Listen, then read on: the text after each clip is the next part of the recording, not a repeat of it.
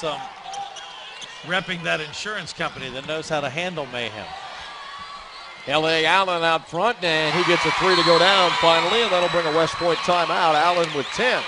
Got squared up to the line, got elevated, got a good look that time. That was a rhythm three for L.A. Allen. Pointers take a timeout. Let her look at it here.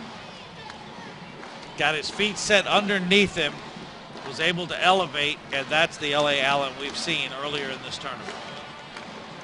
So 3.13 left. Altavista, though, still with a 15 point lead, which they held at halftime.